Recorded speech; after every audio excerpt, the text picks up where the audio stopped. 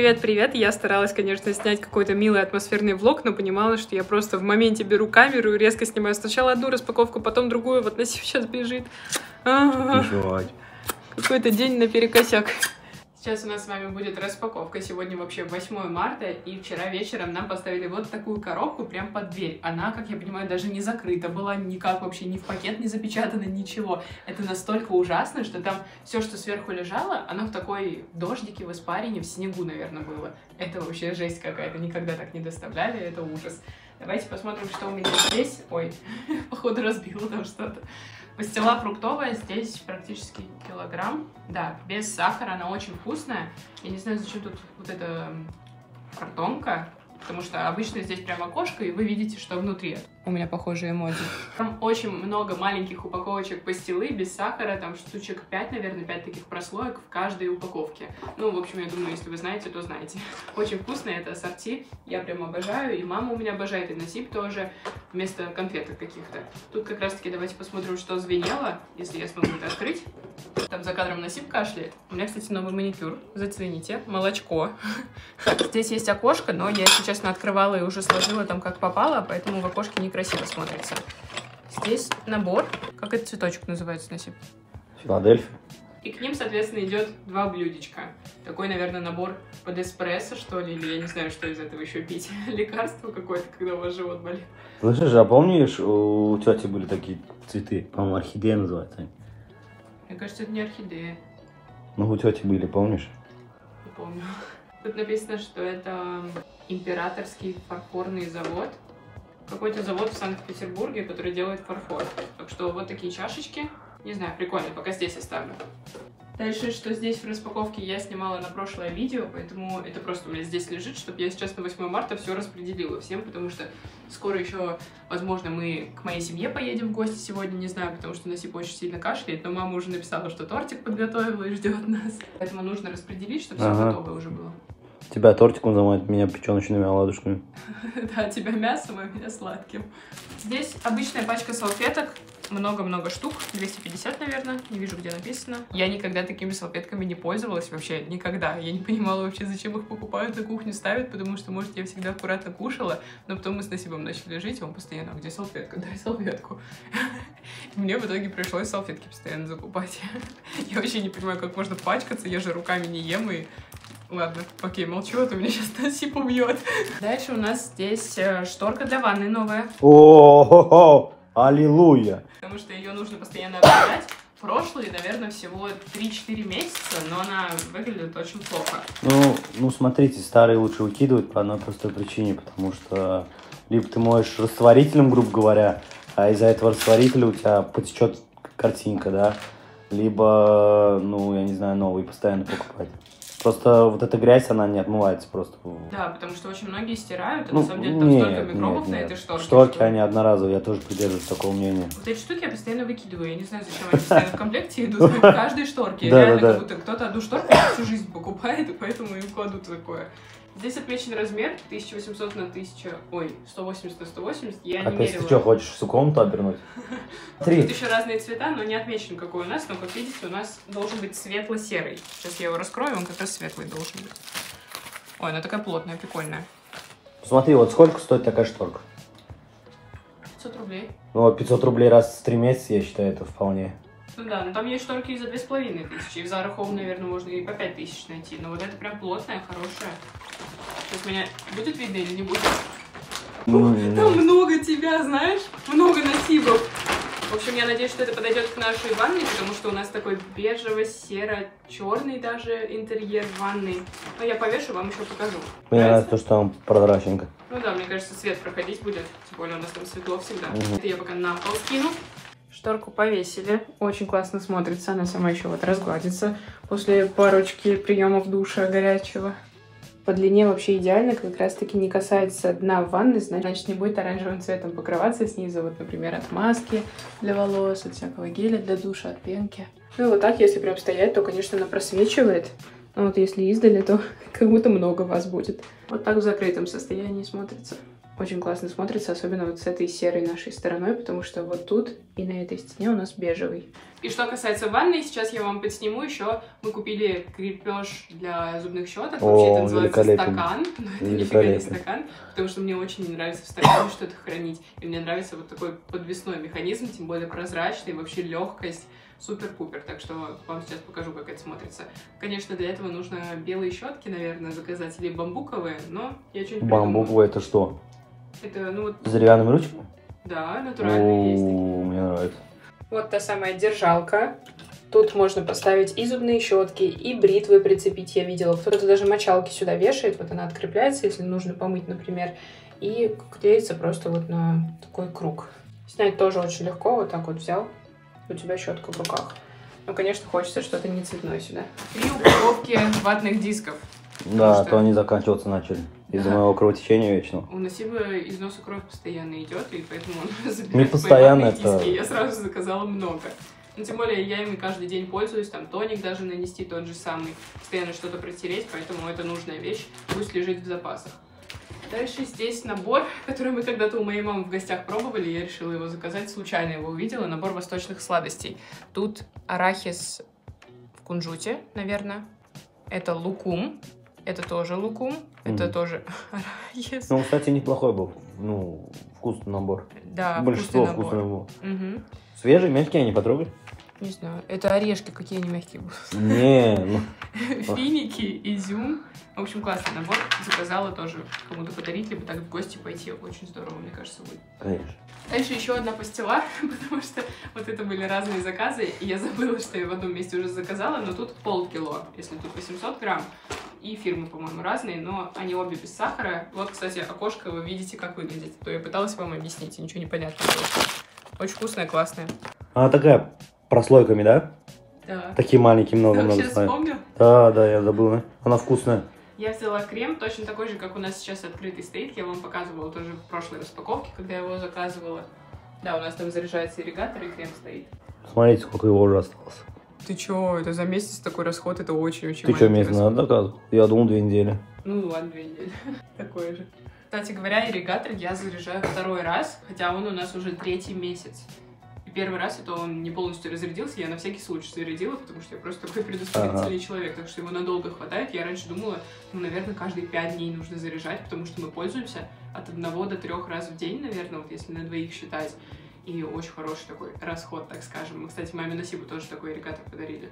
Так что вот крем. Это огромный шампунь. Он прям действительно больше стандартного. 700 миллилитров. Очень классный шампунь. На самом деле, я долгое время пользовалась какими-то там супер дорогими, без сульфатами. Особенно после кератина мне мастер советовала. Что? У тебя, я не знаю, тысяч восемь только на эти шампуни и все средства хватило. Вот этот шампунь покупала моя мама, когда я вот училась в школе, и мы там дома все одним и тем же шампунем мылись, все и мальчики, и девочки. И мне он очень нравился, и аромат вот именно оранжевого Да, мне цвета. запах тоже нравится, кстати, его. Мгм. Я, кстати, наверное, буду пробовать все равно разные, потому что говорят, что если волосы привыкнут, то потом они не так отмываться будут, и перхоть появится, поэтому нужно всегда менять шампуни. И, зуб- и зубные пасты тоже.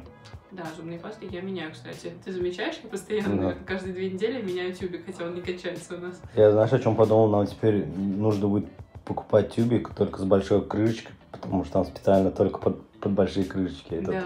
А у нас в запасе дырочка. три дорогих зубных пасты узких, которые не подойдут в эту дырочку. И плюс я же еще купила вот такой, который ставится. А, ты... Дальше я тут доставать не буду, попрошу Насиба показать. Здесь запас кофе. Кстати говоря, этот не очень вкусный, но когда пьешь с молоком или даже если какой-то сироп добавить, то отлично. Пусть в запасах такой лежит.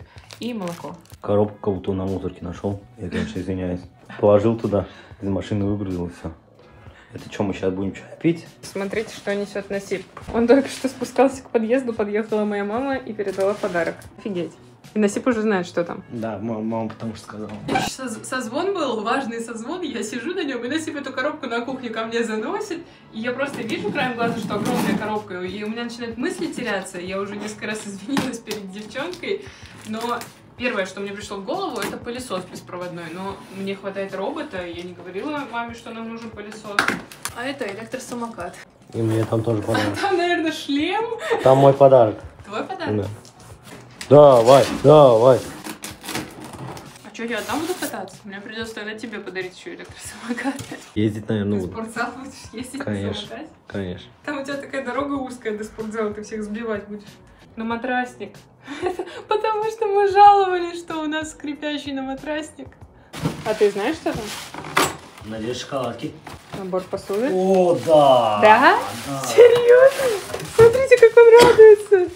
О, там такой жаркой можно на нем делать. Просто. Вообще просто с ума сойти. Ну, красивый, нам как раз такой нужен был. Ты знаешь, да, на- в нем можно и суп, и жаркое, и вообще можно его вот так вот набивать. Носи. Да, это для плова, а это вообще для плова, для Не настоящего. кричи, у тебя голос сядет. Господи, это для настоящего плова. Смотри, как будто на этой стороне тоже жарить можно. Так это, да, это, на ней ты делаешь зажарку для плова, потом переворачиваешь туда. То так можно? Конечно. Что, сломал уже? Нет, ты закрываешь ее вот так вот. Все, и она потом... Это специально пловница. Довольный любитель Вообще плова. просто. У нас сегодня на обед плов, на ужин плов. Вчера был на обед плов, на ужин плов Там и позавчера. плов. Да. Смотри, какие колесики маленькие. Ой, собирай его. У меня ничего не получается. С прошлого кадра прошла одна минута. Папа попросил спуститься к подъезду и стоял там с цветами. Закрытые, значит, супер свежие. Альстромерии, наверное, про которые мы вроде с Насибом говорили, что на чашечке они нарисованы. Они когда... Упали. Они когда раскроются, еще еще больше будут, хотя и так уже огромный букет. Сейчас готовлю в духовке вот эту пиццу. Ни разу не пробовала, но опять же знаю, что ресторан в Москве очень-очень ценится вот этот.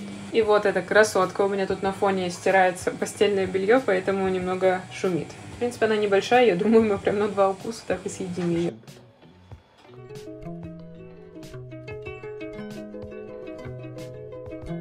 Уже следующий день мы приехали на завтрак. Сегодня мороз и солнце моя самая-самая нелюбимая погода, потому что я только вышла, и у меня сразу глаз начал слезиться, прям вообще без остановки. Это просто ужас какой-то.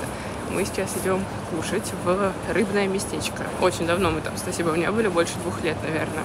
Я сегодня утром, прям с 7 часов, где-то за полтора часа смонтировала всю прошлую часть влога, которую вы сейчас посмотрели. И хотела в итоге прокомментировать, что нам пицца не особо понравилась, но она такая, типа, нормальная. Вот это единственное слово, которое может описать. Еще у меня ботинки прилипают к полу, я иду как Сквидвард. Хотела в итоге здесь доснять продолжение, но играть музыка, я надеюсь, не сильно помешает. В общем, пицца не особо нам понравилась. Как бы она вкусная, знаете, если бы я приехала кому-то в гости, она там была, я бы с удовольствием съела. Но так, что второй раз ее заказать и сделать вот так дома, нет. Мы с Насибом обсудили, что во Вкусвилле тоже замороженные пиццы продаются. Они вот там очень вкусные. Ну, еще, может, какие-то другие бренды попробуем. Именно римская такая хорошая пицца из качественных ингредиентов. Будем пробовать, в общем, искать хорошую. Еще мы в итоге пошли все-таки в гости к моим родителям, и мой брат еще как раз предложил, что когда погода будет хорошая, мы сможем брать его электросамокат, чтобы кататься вдвоем, и мне кажется, это супер идея. Именно летом, во время заката, когда тепло, доехать прямо от дома, я надеюсь, заряда хватит, надо почитать, насколько заряда хватает, доехать до центра, потому что я знаю, что до центра пешком от моего дома дойти два часа или даже меньше. Мне кажется, на самокате это вообще, ну, там полчасика займет в одну сторону. Мы заказали блины, потому что на масленицу мы их не поели. У нас были только панкейки, я показывала видео, что я ем за неделю, буквально позапрошлое, что ли, на канале было, или прошлое, так что посмотрите. Так что сейчас я заказала себе порцию блинов с лососем, Насим заказал себе порцию блинов с икрой и еще что-то мы взяли. Омлет с лососем еще взяли и чай манго маракуйя. Ну, наверное, это чайный напиток будет, вот чай без чая, вот так называется.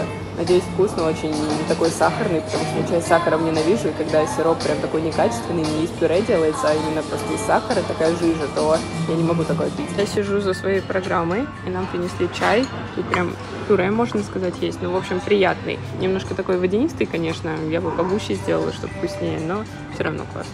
Нам принесли заказ. А почему тебе с икрой? Это мой. Носи! Ну ладно, я не буду, кстати, вот это вот мое. Очень вкусные блинчики, здесь их причем много. И омлетик с паштетом. это О, штука, паштет, кстати, да. очень вкусный, это рыбный паштет. И сейчас будем кушать. Всем приятного аппетита, кто тоже туда. Омлет и... Я не знаю, что это. Это паштет какой-то, но он очень вкусный. Приятного аппетита. Спасибо, Нюш. А сковородка горячая? Ну да. Попробуешь? Паштет. Да. Готово. Тип рассказывает, как ему абонемент в спортзал продали в несколько раз дороже, чем он продается. И, и потом этот чувак, а, который мне продал этот абонемент по телефону, он заводит новеньких а, каких-то других людей, которым продают, и говорит им, типа цену в два раза дешевле за год. Я такой ну, думаю, Она офигеть, мне встать, уже. мне встать, сказать им, ты чё? Мороз и солнце, день чудесный. У нас появилась традиция с прошлого или даже с позапрошлого раза, когда мы вот ходили так в ресторанчик кушать на ужин или на завтрак также выбирались. Мы заходили потом в хлебную лавку, я не знаю, как это правильно называется, кондитерская, может, даже там булочки. Я вам поснимала немножко, чтобы показать, чтобы вы поняли, что это такое. Там очень вкусный хлебушек продается. Он как батон, но он весь посыпан маком, стоит 100 рублей. И это то, что я могу кушать прям вообще без всего, без колбаски, без вообще без всего, без Ага. джема. И для этого ты взяла копченый сыр? А, ну за копченым сыром, да. Я внезапно туда тоже решила зайти, потому что он очень вкусный оказался. Это сейчас почти середина марта, и у нас снег лежит, и холодно. На Сифон еще в Минус подштаниках, да. Нам идти тут, ну, не пять минут, подольше, поэтому с вами немножко еще поболтаю. Я хотела объяснить, почему название влога в самом начале я поставила «Дни вместе», что ли. Потому что мы с Насимом всегда вместе, и я даже думала, типа, странно, что я так напишу. Вообще, мы всегда 24 на 7 вместе. Просто подумала, что будет странно, что у меня уже несколько влогов, которые просто там назывались в самом начале, типа, влог двух дней, вот так назывался. Я решила все-таки написать два дня вместе, потому что мы и так вместе. Я именно про то, что на первых секундах написан текст, который появляется, а не про название видео. Я уже дома, всю дорогу Насип меня расспрашивал про блогеров, кто первый в России начал снимать на YouTube. А я, в принципе, в этой каше, так скажем, варилась, и сама там с 12 лет пыталась снимать на другой канал, уже сейчас его никак не найти, но поэтому разбираюсь в этом, и там, кто самый популярный блогер, тоже могу там рассказать всю биографию, так скажем, потому что это я вообще жила этим с 12, наверное, до 17 лет. Потом просто в универ поступила из-за того, что у меня не получалось по просмотрам, по подпискам, у меня руки опустились, но вот как видите, универ закончила и решила YouTube снова создать. Я вот снимаю, а там на фоне твои цветные носочки. Я хочу. Хорошо. Я сейчас хочу поменять воду у цветочков, и в увлажнитель надо воды налить, потому что я чувствую, что у нас очень сухо дома. И сейчас хотела вам показать, смотрите, да у родителей были. Они передали такой пакетик. Просто я сидела внезапно, а, что-то монтировала в телефоне или с подругой переписывалась, и мне уведомление от папы, чем ты бреешь ноги. Так странно было. И я потом просто написала бритвой. Попросила скинуть модель, и просто пошел, видимо, где-то кассеты, лезвия нашел, как это правильно называется. Э, Вот такая упаковка и какие-то две другие. Странно, вообще я не просила, но это всегда нужная вещь, тем более вот эти фиолетовые красивые, мне кажется. Они какие-то мягенькие будут. Классно, так что. Вот такой подарочек. Там еще была банка маленьких огурчиков, корнишонов, потому что я только такие ем, и папа знает, чем меньше, тем они вкуснее, а большие я вообще ненавижу. Вот, поэтому такая милота. Сейчас буду прибираться, хочу все это на место поставить и смонтировать сразу вот влог, все, что вы сейчас смотрели, прям Прям вот так я буду делать, вот здесь, лежа на кровати, чтобы вы понимали, как создаются влоги. Я вчера помыла голову, очень много маски нанесла, прям очень, чтобы у меня такие выпрямленные волосы были. Так в итоге я их высушила там со всеми средствами, все как положено, все как надо. У меня просто какой-то взрыв на голове был. Я думаю, что это, как это? И я их выпрямила, я долго выпрямляла. В итоге я сегодня проснулась, и у меня вот это на голове. Обычно вот так прям в раковину кладут цветочки. Сейчас еще от ленточки хочу избавиться. Вроде они длинные, ленточки их держат, но я понимаю, что им тут здесь очень туго, и это очень плохо для них может быть, вот особенно для низа. Поэтому сейчас их подрежу. Здесь и фиолетовые, и розовые, и беленькие. Очень красиво смотрится. Раз у нас тема YouTube началась, я хотела вас спросить, какие прям самые первые блогеры, вот с кого вы начали там YouTube смотреть регулярно, постоянно? Ну вот, кто был самым вашим таким родоначальником, предводителем? Потому что я помню, что я смотрела вот Катю Клэ, Прому Желудя, всю компашку. Плюс я всегда смотрела британский YouTube, это мне еще помогало английский выучить. Вот именно британскую компашку. А, Они всегда вместе снимали, они начали вместе вообще рядышком жить все. Кто-то прям вместе в одном доме жил, в одной квартире. И я смотрела, настолько меня это вдохновляло. Как только вот э, начали снимать на российский YouTube очень много блогеров, та же Катя Клэп, Дима Ермузевич появился, вот как раз-таки Дима меня, грубо говоря, замотивировал самой снимать что-то, потому что Дима был похож на Джастина Бибера, а я уже тогда фанатела по Джастину, и из-за этого как бы это меня подтолкнуло, что вот я тоже могу так сделать. Мне родители тогда подарили видеокамеру, она такая, типа, самая простенькая на тот момент была, даже мне кажется, сегмента ниже среднего, потому что она еще даже не в полном разрешении как бы снимала, не Full HD. Это была не зеркалка, как все блогеры снимали, и не влоговая камера, а такая, знаете, вот так ты ее. Фу, вернее, стирается, это же зелень. Ты вот так держишь эту камеру, и окошко так открываешь. вот такая видеокамера. Вообще никакой блогер, мне кажется, на такую не снимал, но у меня была вот такая. Еще родители подарили штатив. Купили мне зеленый фон, такой гринскрин, хромакей называется, чтобы я могла менять фон на видео. И меня вот это как будто замотивировало еще больше фишек по монтажу узнать, делать как бы круче, лучше, выделяться как-то. Но, к сожалению, может, в силу возраста, может, в силу неопытности, и такого затыка в голове, что я все знаю лучше всех, мне там не нужно обучаться, я и так сама все сделаю, просто нужно время. Вот из-за этого у меня не было результата. На самом деле просто я бы обучилась, а, пошла к кому-то там на ведение, на ну, полное ведение как бы, аккаунта, помощь, консультацию даже минимальную. Мне кажется, у меня бы тогда был результат, потому что активы у меня хорошие были. И связи даже у меня хорошие были. У меня столько переписок с крупными блогерами, у которых там миллионы подписчиков сейчас на YouTube но это все, к сожалению, осталось в прошлом. Уже 10 лет прошло. Это огромная боль, когда берешь что-то вкусное, горячее, с пылу жара в магазине, либо то, о чем ты давно мечтал, и ты не можешь это съесть, потому что ты очень-очень объелся в ресторане. Насип теперь смотрит всех блогеров, про которых я ему рассказала. Ну, мне интересно, чем ты живешь и вообще что за индустрия? Я из блогеров никого, ну, я не смотрю, только let's play иногда. А так, ну, интересно, почему ты смотришь их и вообще как это происходит? Кстати говоря, мы сегодня завтракали в заведении, в котором я делала свои самые-самые первые сторис. Через две недели будет ровно три года с того дня, когда я все-таки решилась, меня это как бы подтолкнуло, и мы с Насибом пришли, он сделал мне первые фотографии, я впервые пробовала обрабатывать сторис в стиле, который а тогда был популярен. Nintendo Switch это. Я недавно ехал э, в автобусе, и чувак сел вот с такой штукой огромной. Я думаю, нифига себе, что это? Типа, а как это Nintendo Switch, да? И он там играл в игры какие-то прикольные. Хочешь такую штуку? Нет. Я не играю в игры, я их делаю.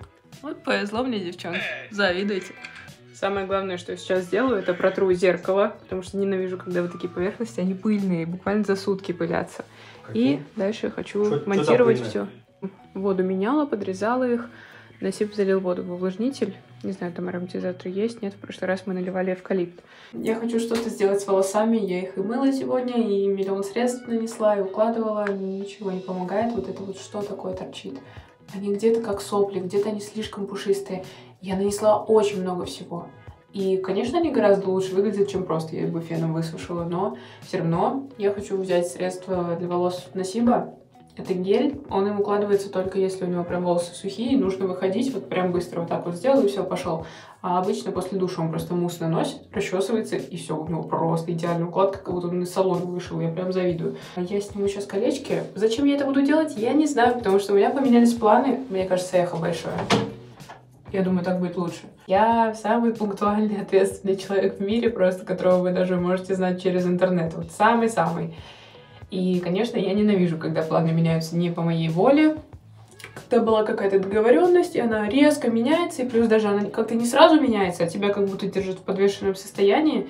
И не знаю, я как-то немножко себя приземляю. Кстати говоря, я решила влог снимать, чтобы как-то отвлечься, потому что я понимала, что я, во-первых, немножко выговорюсь, а во-вторых, я негативные эмоции, которые у меня уже проявляются, они как бы на пике, чтобы там разозлиться или ну просто как бы день впустую провести, в мусорный ящик выкинуть этот день.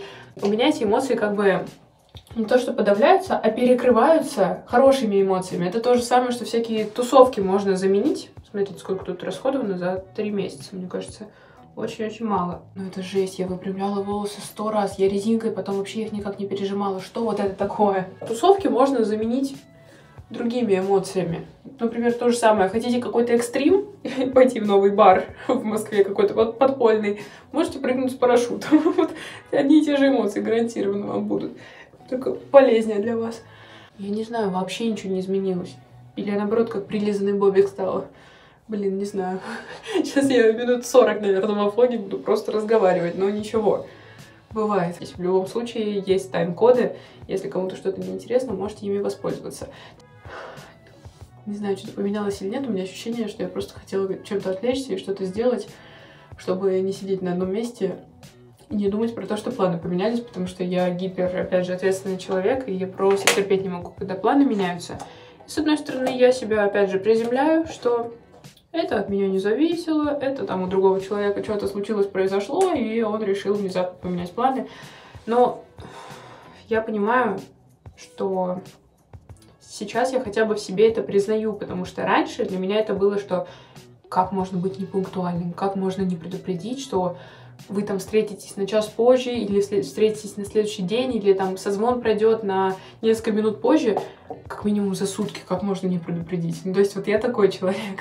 А потом я просто поняла, что у меня слишком развит контроль, прям гиперконтроль у меня, и это, в принципе, ненормально для меня ненормально. Окей, про себя буду говорить, я тут не коуч, не психолог, так что просто свой опыт говорю, что я в себе это признала, в себе это осознала, что это гиперконтроль над действиями самых близких людей и гиперконтроль над ситуацией, над своей жизнью. То есть вот то, что у меня по времени должен был созвон во столько-то начаться, если он начался там на полчаса позже, не по моей вине, то я такая, все, крест. В общем, у меня очень сильно настроение портится, хочу помыть руки. Я сегодня на завтрак э, готовила, как сказать, готовила, разогревала в духовке пиццу. Э, римскую пиццу я заказала с ветчиной и грибами. Ветчина такая необычная была, на тонко нарезанную курочку, что ли, похожая была, такая очень-очень светлая. Ну, может, как раз натуральная, не знаю. И нам очень с Насибом понравилось. Я бы прям и на ужин даже такую пиццу ела. Ну, в принципе, пиццу кто на завтрак ест. Только вот после тусовки какой-то. Не знаю, что это было, но, в общем, нам захотелось, и Насип так восторгалась, попросил всегда эту пиццу брать, всегда этой пиццей завтракать. Хотя мы — это та, так скажем, семейка, которая всегда завтракает овсяной кашей на воде, без сахара, с медом, может, какие-то ягодки, фрукты, и все. То есть мы даже не такие, что постоянно какие-то сэндвичи делать на завтрак, много яиц есть. Нет. И из-за того, что у меня на сегодня планы были по времени, я все утро, как белка в колесе, делала миллион других задач. Сейчас включу другое освещение. И поэтому у меня небольшой бардак, да, он, у меня кровать застелена, вот там просто кофта на Сиба лежит, положу в шкаф, ничего страшного здесь нет, но вот это все с проводами мне сейчас быстро разобраться нужно, потому что я сняла два или три рилс, его, кстати, их смонтировать сейчас надо. Такая блогерская деятельность. Ох уж это работа. Но на самом деле это очень энергозатратно, потому что сегодня 5 часов я, ну не то что потратила, а именно уделила своей работе онлайн.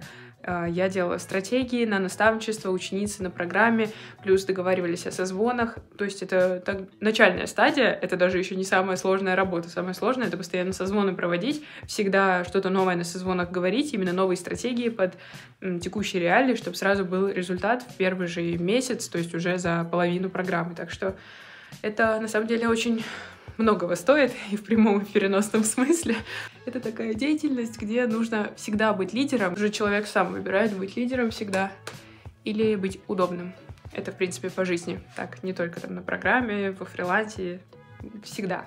В любых отношениях, даже любовных, дружественных, ты сам выбираешь, кем быть. Там снова воду надо поменять. Они, кстати, очень долго стоят. Это альстромерии, они недели три, я думаю, будут стоять. И при этом они огромные, я даже думаю, может, на кухне их поставить. Хотя, с другой стороны, тут увлажнитель очень хорошо прям на них направлен. Мне кажется, это класс для них, потому что тут рядом батарея огромная, и она прям печет. Она у меня наполовину закрыта, поэтому она нормально. Я, конечно, у нас там зима на улице. Я, как обычно, батареи закрываю, потому что у нас что-то за квартирой. Я, конечно, рада, конечно, но не всегда жарко. И зимой, и летом, понятное дело. Летом вообще у нас как будто плюс 50. Я как-то мерила, я не знаю, какой это термометр был. Может, увлажнитель воздуха как-то измерял или что это было, но, в общем, летом у нас 41 градус был. Мне кажется, я даже на влог где-то это снимала, или 43 внутри помещения с увлажнителем воздуха, с открытыми окнами. Это просто капец. Сейчас налью себе водички. И, кстати говоря, я вспомнила, в пункте выдачи уже лежит лампочка для кухни наконец-то холодный свет и очень мощный, мощнее раза в три. Я вот единственное заказала по мощности такую, но не задумалась, а вдруг вообще нельзя такую вкручивать, слишком мощную. И она для какого-нибудь, не знаю, промышленного предприятия, не для кухни, где один проводок торчит. Потому что в любом случае это нужно было сделать. Какой-то новый пункт выдачи открылся. Пойду туда, наконец-то не нужно контактировать с людьми, потому что у меня ближайший пункт выдачи это где человеку нужно говорить, там, дайте, пожалуйста, вот это, вот мой QR-код. Терпеть не могу, господи. Потому что есть тех людей, которые всегда ставят галочку «бесконтактная доставка», оставить у двери, вот это прям для меня функция. Спасибо ковиду за это. С холодильника сейчас достала и решила сразу вместе с вами как бы разобраться. Это полоски для носа. Не скажу, что они прям супер работают, но говорят, что вот это хорошая фирма, и я один раз пробовала. Ну да, там что-то вылезло, но нос как будто со стороны не стал чище. Как будто полоска была грязная, а нос не изменился. Не знаю, как так. Но хочу на видное место положить, потому что их надо после ванны, наверное, делать после душа, когда нос распарен. А вот это крем с SPF, я его хочу выбросить, потому что он очень давно, его там много, наверное, вот столько, вот от пальца вниз. То есть очень много. И мне кажется, срок годности прошел просто давным-давно. 12 месяцев срок годности, а я его открыла, мне кажется, года три назад. В общем, в любом случае, в ближайшее время я им пользоваться не буду. На это лето я куплю уже другой, потому что это больше как молочко. И оно оставляло, знаете, такой и блеск какой-то нездоровый, прям заметный, как будто маслом намазали лицо, и белый, белую пелену. В общем, ощущение было, что я просто каким-то, какой-то белой детской краской намазала лицо целиком, и оно блестело очень сильно молочко для лица и тела. Но я вот им мазала руки, спину, себе на сибу. На самом деле расход очень маленький, ну, то есть у меня этот тюбик вообще не израсходовался. Но он ужасный. Вот только если едете прям на море, летом, загорать, не загорать, чтобы не сгореть, вот тогда да, именно тело мазать. Но для лица я хочу какой-то спросить, возможно, у маминого косметолога. Потому... У мамы нужно спросить. Я думаю, мне кажется, у нее даже дома в запасах лежит, потому что, как вы понимаете, я такой запасливый хомячок, у которого есть шкаф с запасами, где там 10 пачек макарон и лекарства тоже на год вперед. А, потому что у меня семья такая всегда была, мне всегда показывали, что это же удобно сразу накупить кучу всего, например, накупить кучу станков для бритвы. Ну, это же удобно. Идти в магазин не когда у тебя там закончились средства гигиены, а заранее их закупить просто много. И пусть они лежат, они не так много места занимают. Ну, окей, конечно, кто там живет совсем в маленьких квартирках, эм, то там места не будет. Но я просто я даже не знаю, каково это. Поэтому вот я как бы и свою жизнь выстраиваю точно так же, как и мне показывали всю мою подростковую жизнь. Опять же, не привыкла на фронталку снимать, но когда я на улице, как-то холодно или не хочется просто вот так на вытянутой руке, ну и плюс у себя на районе. Вот, и может быть поэтому, потому что в центре я, наоборот, люблю вот на полную руку вот так снимать, чтобы вам все видно было красиво. Я сходила, забрала озон и супер внезапно встретила подругу, с которой мы уже лет 15, мне кажется, дружим. И она... Я знала, что Озон находится в соседнем Блин, такой сильный ветер, наверное, не смогу ничего рассказать. Такую лампочку выбрала, надеюсь, подойдет. Вроде все параметры проверила. Вот единственное, я не знаю, 30 ватт это очень много. Я не знаю, взорвется у меня все или нет. Вот это получается до. Конечно, камера полностью не передаст, она как-то выравнивает еще свет, но запомните. А вот это после. Я не знаю, как вам описать мою радость. Хотя знаю, просто посмотрите, какое теперь освещение, когда на кухне включен свет. Офигеть, это так просто было исправить, а мы два с половиной года жили и ненавидели эту люстру.